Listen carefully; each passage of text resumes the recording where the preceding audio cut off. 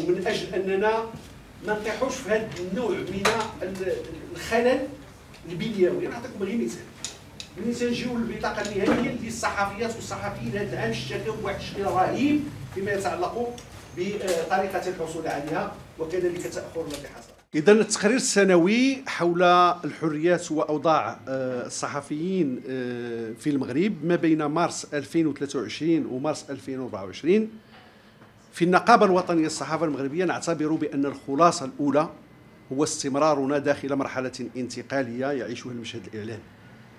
من علاماتها الاستعداد لانتخابات المجلس الوطني للصحافة ومراجعة القوانين الثلاث قانون الصحفي المهني وقانون المحدث للمجلس وكذلك قانون آه، الصحافة والنشر كذلك استمرارنا في نفس الوضع الذي آه، تركتنا فيه جائحة كوفيد 19 من ناحية الحقوق الاقتصادية والاجتماعية. بمعنى استمرار وضع الهشاشة ووضع القلق لدى الصحفيات والصحفيين والذي يحتاج إلى طمأنة بطبيعة الحال التقرير تضمن تقريبا ثلاث أقسام. القسم الأول يتعلق بفعلية الحقوق الاقتصادية والاجتماعية للصحفيين في والبيئة الصحفية. القسم الثاني احترام أخلاقيات المهنة وحكمة المؤسسات والقسم الثالث يتضمن فعلية حرية الصحفيين والصحفيات والقسم الرابع عبارة على خلاصات وتوصيات. بطبيعة الحال من الناحية الاقتصادية كما قلت لكم هناك نوع من القلق. من الناحية الاجتماعية رصدت النقابة الوطنية للصحافة المغربية استمرار التضييق على العمل النقابي. رصدت النقابة الوطنية للصحافة المغربية استمرار بعض المقاولات في التعسف في طرد الصحفيين وتسريحهم كذلك لاحظت النقابة أن بعض المقاولات احترمت آه، الأوضاع التي يعيشها الجسم وحاولت أن تتعامل بنوع من الكياسة ونوع من التفهم بالنسبة للصحفيات والصحفيين ولكن في ذات الوقت نقول بأن هذه الأوضاع لا يمكن أن تعالج إلا من خلال اتفاقيات جماعية. ولهذا دعونا في التوصيات إلى تعميم الاتفاقيات الاجتماعية سواء التي تناقش بالنسبة للصحافة المكتوبة والإلكترونية والتي يجب أن تربط الدعم بتطبيق الاتفاقية الجماعية.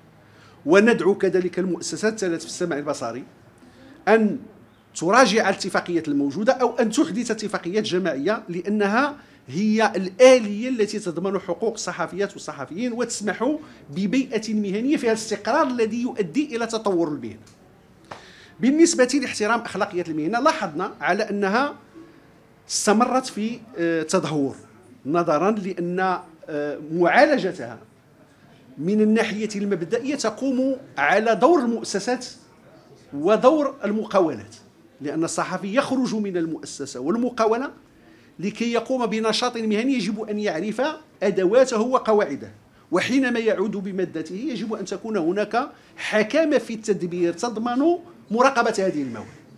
وبالتالي خلق هذه الأخلاقيات يضعنا في وضعية الخصم مع المجتمع الذي لم يعد يفرق بين المنتوج الإعلامي وبين ما يبث في مواقع التواصل الاجتماعي. ولهذا ندعو إلى مراجعة جرية جريئة للقوانين ويجب على المؤسسات الثلاث سواء تعلق الأمر بالمؤسسات المهنيين أن تكون في المستوى لكي نواجه كل القواعد المرتبطة بهذه المهنة. وعلى الحكومة أن تأخذ بعين الاعتبار هواجس المهنيين وأن تقودنا إلى مشروع قانون يقدم إلى البرلمان يكون في المستوى. وندعو المؤسسات التشريعية أن تنبذ التسييس في مناقشات القواعد المرتبطة بتنظيم هذه المهنة لأنها ملك للمجتمع ولأنها قاعدة للبناء الديمقراطي وبناء آه، كذلك التنمية الاقتصادية. ولهذا ستجدون في هذا التقرير حوالي 12 توصية أساسية تواجه كل هذه المعطيات التي ذكرت لكم وتدعو الجميع بما فيهم الزملاء. إلى نبذ هذه البيئة غير السليمة في التعامل.